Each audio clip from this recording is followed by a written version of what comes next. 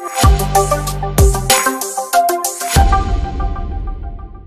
La congresista de Juntos por el Perú, Sigrid Bazán, anunció que apoyará el pedido para que se desactive la comisión investigadora del proceso de elecciones generales del 2021, cuya creación fue impulsada por las fuerzas políticas que buscaban desconocer los resultados electorales y que hoy cuentan con representación parlamentaria. Lejos de dar frutos en beneficio para el país, este grupo empleó cerca de 150 mil soles en cuatro meses de trabajo, solo en gastos administrativos y de personal, pues escribió en su cuenta de Twitter lo siguiente. A pesar de que la Fiscalía ha archivado las denuncias del supuesto fraude, esta comisión sigue operando e intentando justificar las teorías más descabelladas. Como integrante de dicho espacio, estoy adhiriéndome al pedido de desactivación de una comisión que solo gasta recursos en vano. En octubre del 2021 y enero del 2022, la Comisión Investigadora del supuesto fraude en las elecciones generales 2021, grupo de trabajo que preside el congresista de Renovación Popular Jorge Montoya, le ha costado al Perú 148.478 soles. La creación se apoyó en las múltiples denuncias de Fuerza Popular sobre supuestas firmas falsas en actos electorales, las cuales fueron archivadas por el Ministerio Público.